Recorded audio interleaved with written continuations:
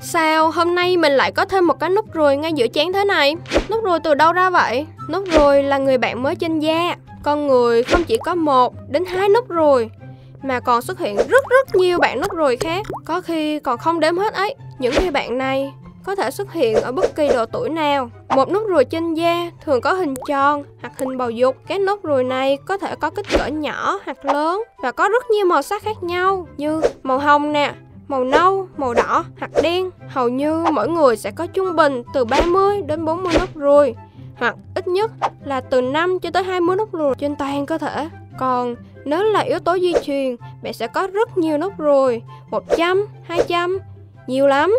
Có thể đếm nhiều đến mức không đếm hết. Các nốt ruồi này sẽ xuất hiện trên bất kỳ bề mặt da nào của cơ thể bạn. Nhiều nốt ruồi xuất hiện không cần lý do.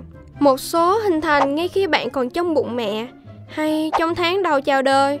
Thường lúc đầu chúng chỉ là những chấm nhỏ rất lý ti, sau đó những nốt ruồi sẽ lớn dần lên một kích thước nhất định và thường sẽ nhỏ hơn 1cm. Trong suốt quá trình trưởng thành đó, các nốt ruồi vẫn sẽ gõ cửa nhà bạn. Tham khảo thông tin khoa học một chút thì nốt ruồi được gọi là một bộ sưu tập của các tế bào có tên là tế bào biểu bì tạo hắc tố. Đây là một phần của sắc tố da. Khi tế bào biểu bì gặp hắc tố hình thành, Chúng dẫn đến sự xuất hiện của các nốt ruồi trên da.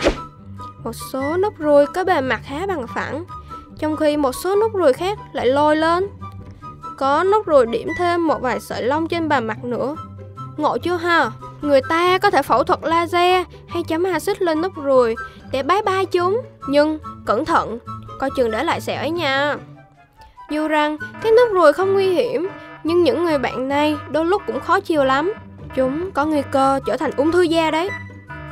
Nếu nốt ruồi đột nhiên thay đổi màu sắc, kích cỡ nhanh chóng, chảy máu hoặc phát triển không đồng đều, đây có thể là biểu hiện phát triển của tế bào vảy.